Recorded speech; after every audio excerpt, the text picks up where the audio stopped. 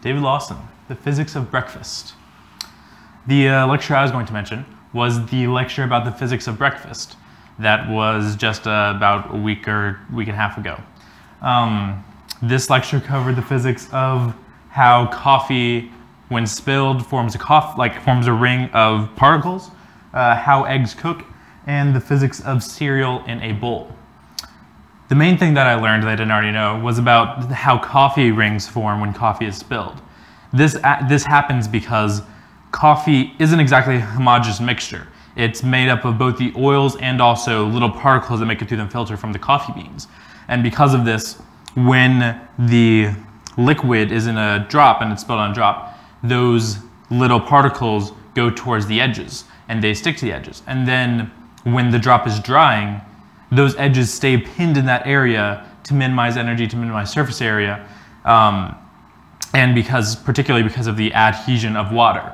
Uh, and so when the coffee dries, it goes from a spherical cap and then it smushes down until the edges where the particles were, they dry right there and form a ring, but there's very few particles in the middle of the drop where you maybe see just uh, the other oils and such drying down.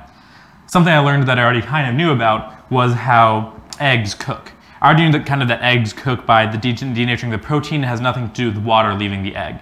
Um, and one thing that's interesting about that is that something related to eggs is that there's three kinds of scrambled eggs. There's British scrambled eggs, there's American scrambled eggs, and there's French scrambled eggs. French, uh, let me start with British scrambled eggs. They're usually made in a pot and you whisk fairly frequently, but not all the time, at a medium temperature.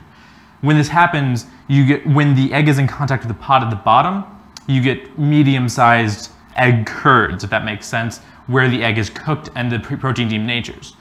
Um, American fried, uh, American style scrambled eggs are made in like a frying pan, where you let sheets of egg curds be created and then you scrape them towards the center and you have a larger kind of egg curd. Now French is the really interesting one. French style scrambled eggs are made uh, in a boiler in a sense, a double boiler, where you have a glass, some sort of pot over a pot of boiling water. The boiling water gets hot, it evaporates, and it heats the bottom of the bowl. And then you continuously whisk the eggs as they're in the bowl as they slowly cook. So because of this, the eggs never really reach higher than water, temp uh, water boiling temperature higher than 100 degrees Celsius.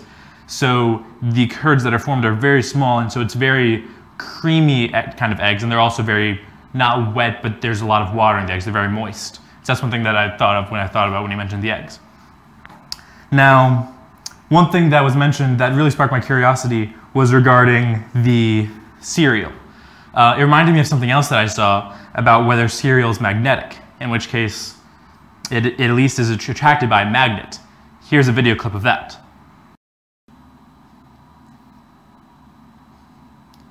As you can see, the magnet very slightly pulls the cereal. As you can see right there, the cereal, when there's multiple together, tend to stick together.